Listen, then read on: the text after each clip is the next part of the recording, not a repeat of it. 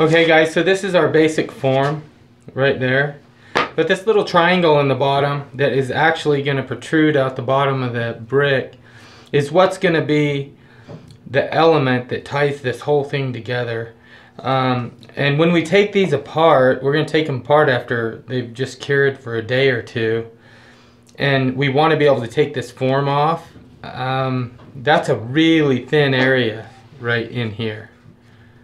Uh, and besides, that's the whole element that holds the whole wall together. When you put another one beside and then one sits here, that triangle will lock it in. So you want it to have some strength. So I just decided to take um, some some steel fabric. This stuff is cheap. A whole sheet of it, like three foot wide by eight feet long, was six dollars and seventy seven cents. So it's a, I think it's a really wise investment.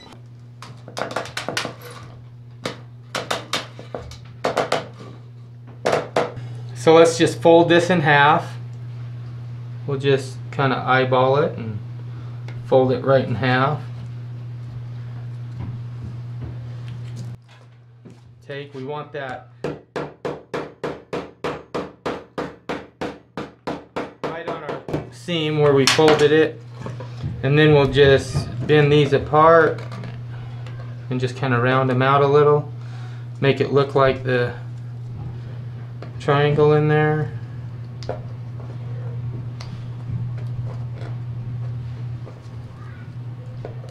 What do you think, babe? It look like it? Pretty darn close. Yeah. So put this here.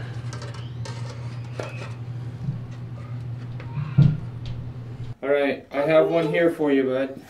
I gotta fold it in half, It's half. like that, oh. and then I need you to pound that edge flat.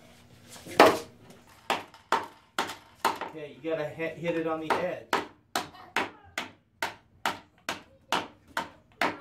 Okay, there we go. And then daddy'll daddy will shape it like that, and it'll go in the form. yeah, you. Yeah.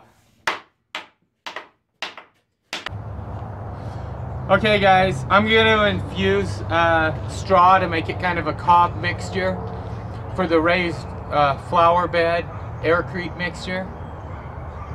I already got in trouble just for shaving off this little bit without Mrs. Honey Do filming me.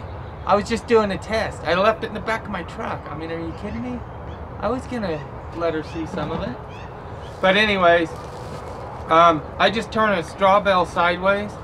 I wanted the straw to mostly be about an inch or inch and a half thick or long. Uh, so it would be small pieces that would infuse in.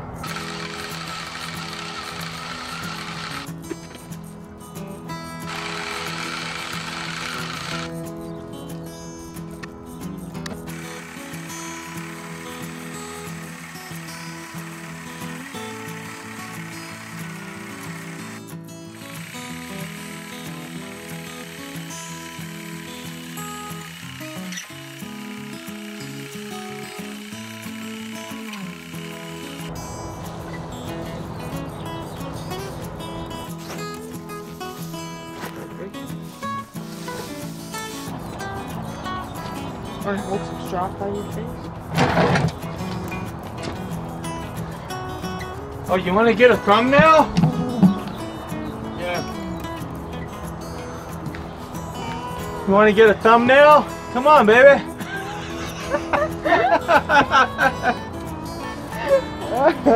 You're off.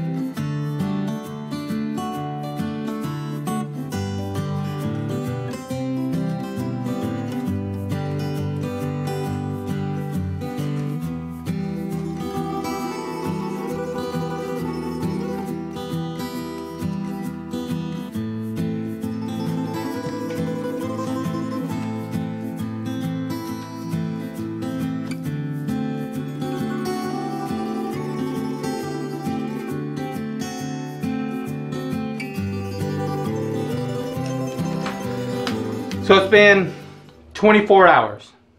So I'm gonna pull the, all you do is just pull this off. And I put some scotch tape down the center so it wouldn't.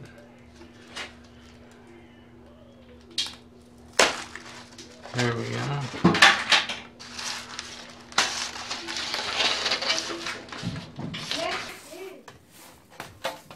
Oh, you can tell the different color between the top and the middle.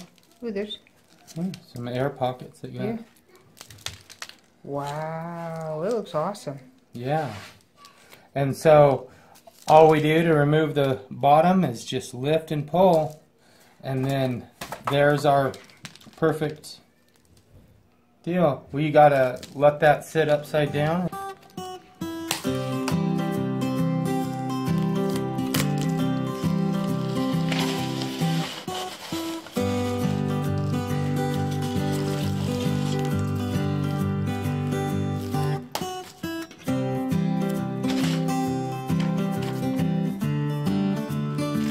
Now this doesn't smell as good as it normally does. What? Straw. it usually ha just smells like the soap. Right. Okay. And there's our Beautiful block. our beautiful block, Aircrete and cob. And it's, I mean, it's light, it's aerated. Um, I mean, you can see some big pockets, but that's not going to matter. These are going to look beautiful when they're uh, set beside each other.